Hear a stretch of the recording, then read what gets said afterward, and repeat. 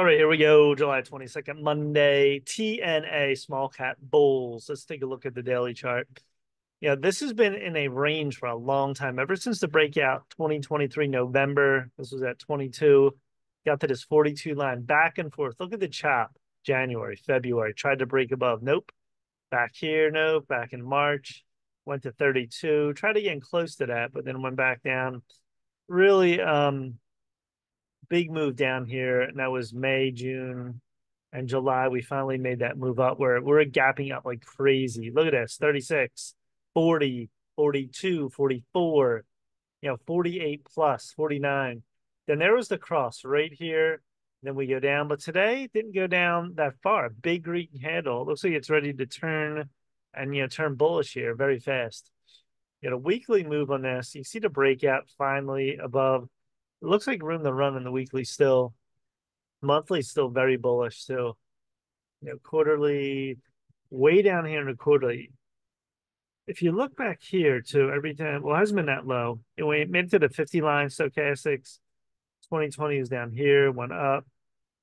As low as it's been in a long time. And yeah, this could run a long time. I don't know what that would mean for the market. If small caps lead the way, that'd be kind of weird. But at 2202 on stochastics was extremely low. We'll see how this plays out longer term. Five minute chart. This was a B. So yeah, 7 a.m. This was at 44.25. Get to the 44.75 line. Form the one, two, three triple top after the open. Nice little short there too, uh, pre-market. Then after the shooting star candle, you have 44.75 went down all the way to 43.25. Look at these candles. One, two, three, four, five. And look at this move up. We go all the way to 44.75 again. There's the line right here. Touch one, like two, three, four, like five. You know, over five times.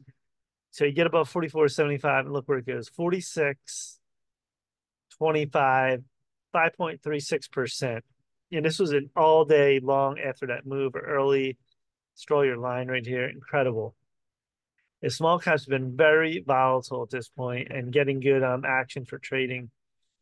All right, let's put the lines back here, see what we're at here, if we can connect them pretty good. All right, so you have a three little red bar here to cross, change the direction right here. Yeah, that's out of it. So it's out of the zone right now. And we'll see tomorrow how this plays out if we get another move up on small caps. You can see the longer term picture, even go back longer. Yeah, look how this has been sideways for a long time. Actually, I said it was back.